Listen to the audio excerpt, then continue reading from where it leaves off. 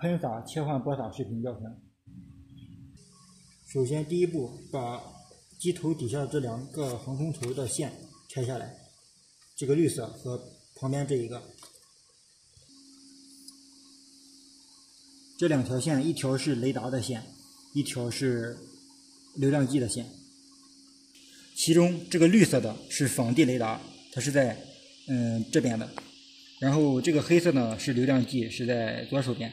到时候插回去的时候不要插错了。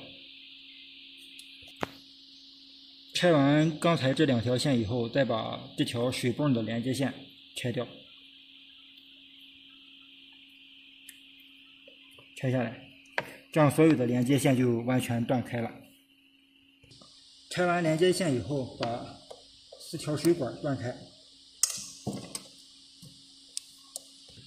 然后后方还有两条。开，下面将药箱开出。首先，药箱这个料斗的开关面向我们，然后我们拿到甩盘，首先把这个开关拔开，拔开以后，我们把出现的这一端面向我们，然后向右倾斜四十五度，然后这样放到。料斗上，然后顺时针卡紧，旋转锁止销，将锁甩盘卡在这个料斗上，然后将料斗提起，放到飞机上。注意开关，这个舱门的开关是在前方的，不要装错了方向。下面开始接线，这个蓝色的护套是播撒盘的线束。首先，我们把防水防尘开关打开，然后把这个开关，把水泵的这个插头堵起来，防止在使用过程中进入泥沙和水，造成短路损坏飞机。下面我们将播撒器、播撒盘和这条线束连接到一起。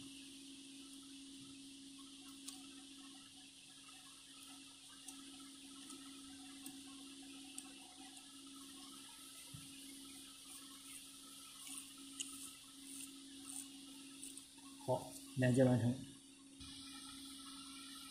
打开遥控器，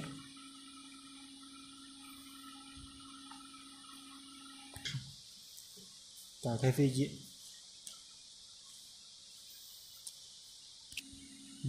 我们打连接好以后，准备好飞机，先需要对这个播撒器进行设置，然后先选择设置。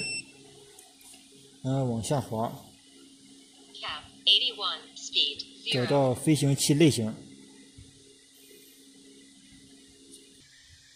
首先我们找到这里，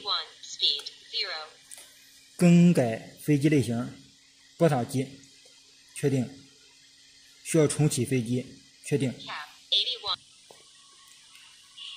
关机，然后再开机。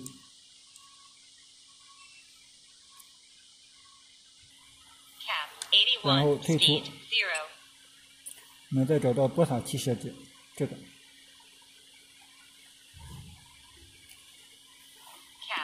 首先，第一个信号模式一定是看信号，不要选择 PWM。然后 K 值四个 K 值不要不要随意修改，修改之后会不准。然后我们装好之后，一定要首先要去皮，归零校准。现在它的重量显示是一公斤，但我们药箱里实际上是什么也没有的，所以说需要去皮校准。点击去皮。我们点击完去皮校准以后，回到原来的重量这里看一下，好，现在是零点零一啊，就是接近零了，这就说明去去皮成功了。去皮完了以后，我们要把这个称重模块的这个工作模式改为播撒。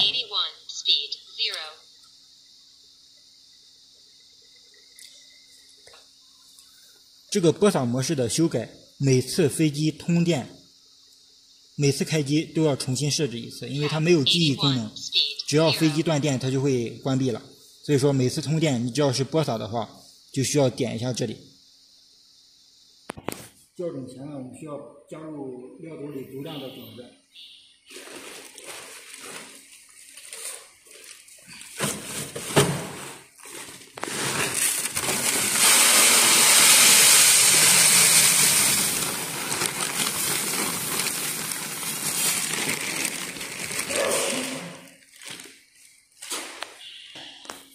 种子的重量大概在三十公斤到四十公斤，如果加的过少的话，可能会造成种子用完了，然后会校准失败。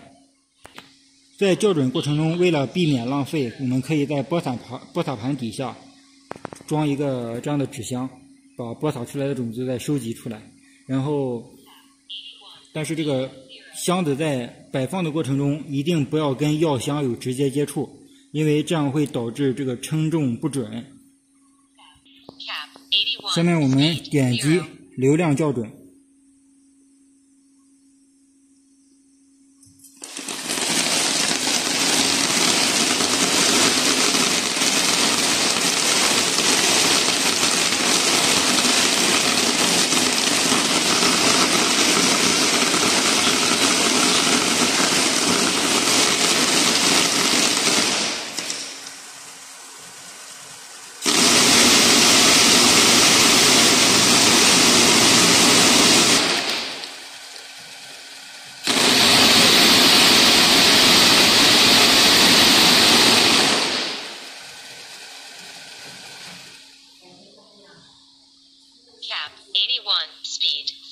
好，校准成功，点击确定。